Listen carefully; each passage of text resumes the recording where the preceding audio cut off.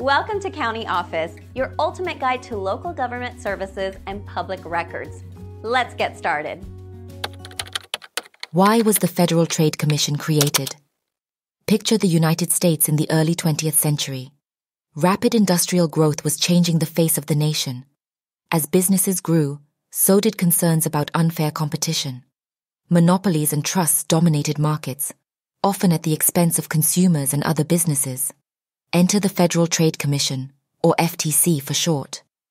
The year was 1914. Woodrow Wilson was president, and the economy was a hot topic. Congress passed the Federal Trade Commission Act. Its purpose? To protect consumers and ensure a competitive marketplace. The FTC was born as a watchdog agency. Its mission? To prevent unfair methods of competition.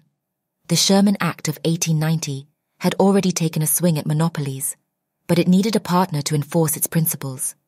The FTC stepped up to the plate. It was empowered to issue cease and desist orders to stop unfair practices. The FTC also got the authority to investigate companies.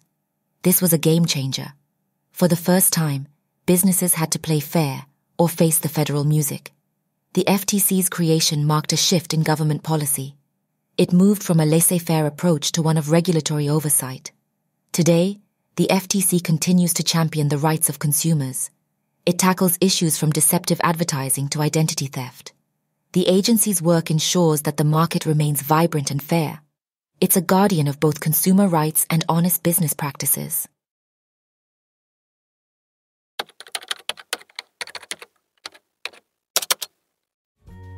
To learn more, check out these links, which you can click in the description below. And feel free to comment your questions. We're here to help.